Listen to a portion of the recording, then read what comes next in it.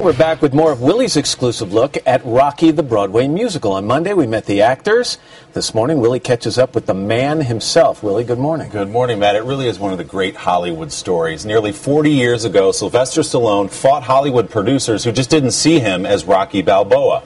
Well, six Rocky movies later, we know how that ended. And despite that success, Stallone actually had to lace up the gloves again, this time to convince Broadway producers who said Rocky the musical would never make it to the Great White Way.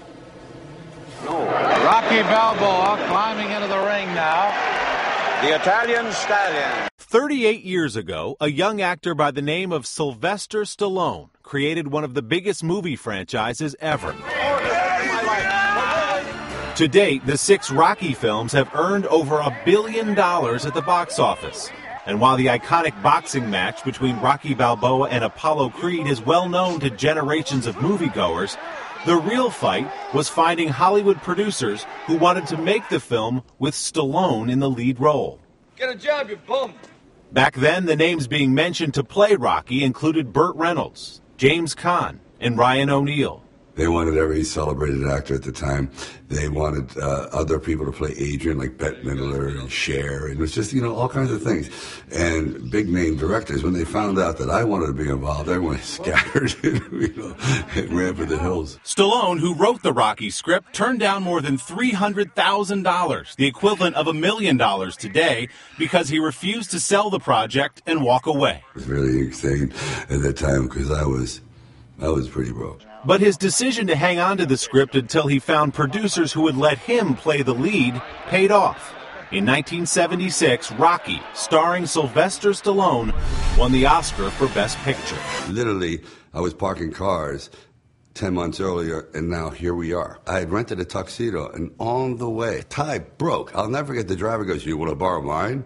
I go, Nah, I guess it doesn't matter. So I walk into the Oscars looking like Vinny Bombat. How you doing? Anybody need a piece of him? And, and people, oh my God, what arrogance. How dare him, you know, go against the establishment. And he's still going against the establishment. At 67, Stallone is climbing back into the ring.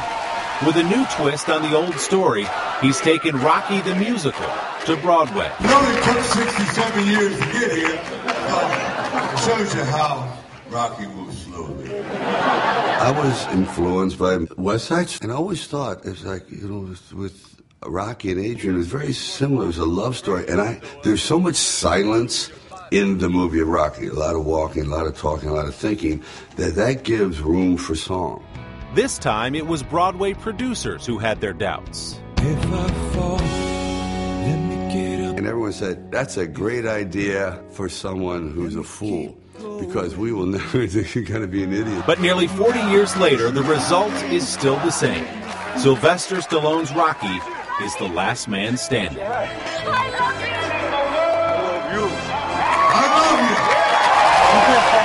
And the show is already a hit on Broadway, guys. When he went to bring this movie to Hollywood, he says he had $106 in his bank account. He figured I have to take control of my own destiny. I'm not going to do this movie unless I can be in it. And he turned down a lot of money. He said he had a $40 car that had just blown up and turned down $100,000 because he wanted to be in it. And boy, has that paid off. I love that. It's like who has the vision at, at that moment and not, Yeah. you know, to hold out for the big thing. It's amazing. The six movies together have made more than $1.2 billion. I think he made the right call. Right. Or about as much as Frozen. right, right. One thousand million.